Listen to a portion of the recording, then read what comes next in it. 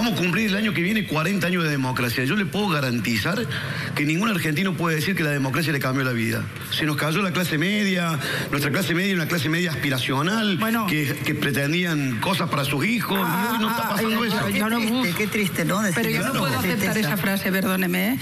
Eh, la democracia siempre salva la vida, respeto a la dictadura. No, no, no, pero estoy diciendo que si nosotros comparamos el estándar de vida que teníamos hace 40 años atrás y el que tenemos ahora, sinceramente con la mano del corazón, si queremos hacer una profunda autocrítica, porque si no vamos a hacer una autocrítica no vamos a arrancar nunca. Si nosotros queremos que está todo bien, bueno, olvídate. Pero no es por el hay, una, ¿eh? hay una responsabilidad de la dirigencia y sobre todo de la, de la dirigencia peronista. Perdón que lo diga así. ¿Peronista o kirchnerista? No, peronista. Y peronista también. Bueno, ahí está el punto, claro. Efectivamente, la frase, me parece que Pilar Raola veniendo de afuera, qué sé yo, no sé si conoces tanto de... Sí, he visto, no, no, de política argentina, ¿sabes? Lo cierto es que eh, la frase, ningún argentino puede decir que la democracia le cambió la vida, y la democracia sí cambió la vida, se recuperaron libertades que no teníamos eh, y que afortunadamente podemos disfrutar. Luego lo que entiendo quiso decir juez es la deuda que tienen los dirigentes políticos con la democracia, eso también es cierto. Que hicieron poco, hicieron poco. ¿Mm? Bueno, y lo otro es este, Kelly Olmos, la ministra. La ministra. ¿Hasta Luis Juez en línea? Hasta Luis Juez. ¿Qué tal, Luis? Buen día. Hola, Jorge. ¿Cómo va? Buen día. Bueno, ahí, estaba yo tratando de explicar que nuestra generación con la democracia se come, se cura y se educa. No, es muy claro, salvo que quieran hacer patrullaje ideológico, es muy claro. Yo soy un hombre de la democracia como vos. Nuestro primer voto fue en el 83. Así que no estamos hablando del sistema democrático, estamos hablando, nosotros somos la generación de la democracia. Y si algún cínico o hipócrita puede decir que nosotros le cambiamos la vida a la gente estos últimos 40 años, está mintiendo. No estoy hablando del sistema democrático, la conquista de libertades. Eh, eh, la expresión hay que tomarla en el contexto en la que la planteé. Cinco minutos antes le dije a Pilar Raola ¿Qué nos pasó a nosotros que en el año 85 pudimos juzgar a nuestras juntas militares y dar un ejemplo de civilidad al mundo y 37 años después no somos capaces de, animarnos a reconocer la corrupción de nuestros dirigentes y creemos que todo es un loafer o un atropello de los grupos de comunicación? Eso tiene que ver con la pérdida de la calidad, porque nosotros creemos que la democracia es ir a votar cada dos años. Y cuando vos votás delincuente, te pasa lo que nos pasa a los argentinos.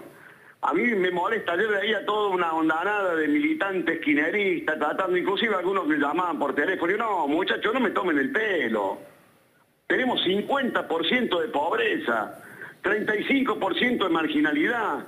Nuestros hijos se quieren ir del país. La educación se destruyó. Eh, no me vengan con ese verso, no vengan a esconderse bajo el pretexto, no, pero vos quisiste decir, no, vos sabés muy bien lo que quise decir. Como dirigentes políticos hemos fracasado y me incluyo. A pesar de no haber tenido la posibilidad de gobernar esta provincia, ¿quién puede decir que los índices de Córdoba después de 25 años de un mismo gobierno son los índices que teníamos cuando abrazamos la democracia creyendo que con eso solo se alcanzaba? Eh, lo digo con claridad, si nosotros no somos capaces los políticos de hacer una autocrítica y reconocer a viva voz que hemos fracasado a 40 años la democracia porque no le hemos dado a la gente lo que la gente esperaba tener, que era calidad de vida, educación, salud. Mirá lo que está pasando con la salud, Jorge. En los pocos lugares donde hay médicos se van. Mirá lo que está pasando con la educación. No hay más, no hay más carrera docente, no se, no se inscriben más nuestros hijos para ser docentes, no lo, no lo toman como una vocación, no hay más vocación docente porque la han destruido. Mirá lo que pasa hoy con la justicia. La justicia vos llegás y tratás de mantenerte chupándole la media el poder político, entonces vamos a cumplir 40 años de democracia. Y, te cuento que después que terminó el programa nos quedamos charlando con Pilar. Y ella me reconocía que bueno que la reacción de ella era producto de una cuestión, le dije, mira Pilar, si ustedes en España me reconoce que con el pacto de la Moncloa y con el rey Juan Carlos Ustedes no se animaron a juzgar lo que pasó en la sangrienta guerra civil española y que hicieron como diciendo, no, no pasó nada, no vamos a hablar de ese tema. A nosotros pareciera que nos pasó lo mismo, no queremos hablar de cosas que hemos hecho muy mal estos 40 años. Le hemos roto la expectativa y la esperanza del pueblo argentino y esta es una realidad de la dirigencia política. Sí. Hay que reconocerlo. Solamente se enriquecieron un puñado de políticos y sindicalistas en la Argentina y el pueblo cada vez está más pobre. Sí. Esa no es una apreciación ideológica de izquierda ni de derecha, es una realidad. Sí, no, también es cierto en este espíritu que hay muchos dirigentes, eh, funcionarios públicos de la democracia que aprovecharon la democracia para enriquecerse, para todo lo que... Lo comparto al espíritu, solo que la frase ningún argentino puede decir que la democracia le cambió la vida, yo no te hubiese aconsejado decirla. Es una frase... No, pero probablemente en el contexto que la planteamos, la conversación que veníamos dando, se entiende, pero tenés razón, probablemente tenga que aclarar esto. Pero también te voy a decir, Jorge, conociéndote de la con la persona que estoy hablando, de, tu bonomía para entender. Eh, si nosotros no somos capaces de reconocer, Jorge, como dirigente de este país, mira, muchos dirigentes en la década del 70 tomaban las armas en este país supuestamente para liberar al pueblo de la opresión, teníamos el 6% de su ocupación, el 5% de pobreza. Muchos de esos tipos hoy son multimillonarios, que hicieron infinitamente ricos aprovechando la democracia, aprovechando las bondades, aprovechando cómo se fue degradando. Yo lo veía el otro día con mis hijos la película de 1985 y dije, ¿cómo pudo esta sociedad animarse a juzgar a una de las dictaduras más sangrientas de Latinoamérica y del mundo? Y hoy no somos capaces, hoy, hoy, hoy, hoy que Luciani va a hacer uso del, del derecho que le corresponde al Ministerio Público, tenemos amigos, vos y yo, que son incapaces de reconocer que su jefa metió la mano en la lata y se enriqueció con la política hablando de los derechos humanos, de los pobres, de los desposeídos. Yo me peleaba el domingo con un grupo de amigos míos, digo, loco, pero en serio que vos no sos capaz de reconocer que esa gente se enriqueció hablando de los pobres. No, bueno, pero ustedes, la derecha, no, ¿qué derecha, loco? Esto no está pasando. Vamos a cumplir 40 años el año que viene ¿Por qué te crees que eso, esos emergentes de la política que creen que se resuelven los problemas, por ejemplo, el Banco Central poniéndole un cartucho de dinamita, hoy tienen semejante nivel de adhesión? Porque se le hemos dejado picando en el área porque no hemos atendido los reclamos de la gente. Eh, Luis. ¿Cuánto hace que no discutimos una vivienda? El tipo que Un tipo sabe en este país que no va a tener nunca una vivienda propia. Eh, Luis, discúlpame, pero eh, como se nos va a acabar el tiempo, Roberto quiere hacerte una pregunta puntual de política que yo también te la quiero hacer, así que le doy a Roberto. No, era, el, ¿cómo andas, Luis? La, obvia, ¿vas a tratar el acto de Loredo? Sí, sí, claro que sí, ayer estuvimos hablando por teléfono, sí, claro. ¿Y eso implica que, que, los dos ya son... ¿Los dos son precandidatos a gobernador?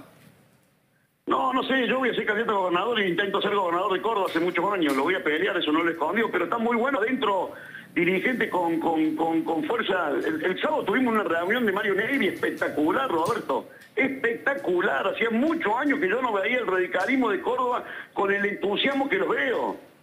Para ganar este partido, que va a ser muy difícil por el enemigo que tenemos, por, por los recursos, por la plata, necesitamos que los jugadores nuestros tengan ganas de ganar el partido. Si no, no tiene sentido que salgamos a la cancha. Y yo lo veo muy entusiasmado y eso a mí me pone, me, levanta la vara. ¿Y cómo se resuelve si hay dos precandidatos a gobernador, la candidatura a gobernador para unas elecciones que pueden llegar a ser nomás en abril o mayo?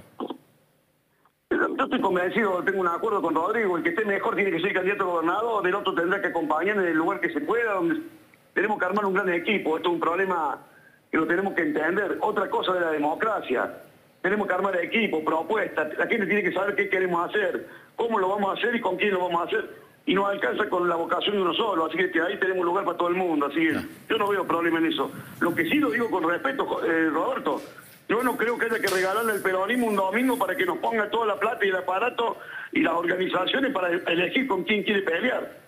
Yo ya no me quiero pelear con, con los socios tengo claro con quién tengo que enfrentarme y eso lo digo con claridad.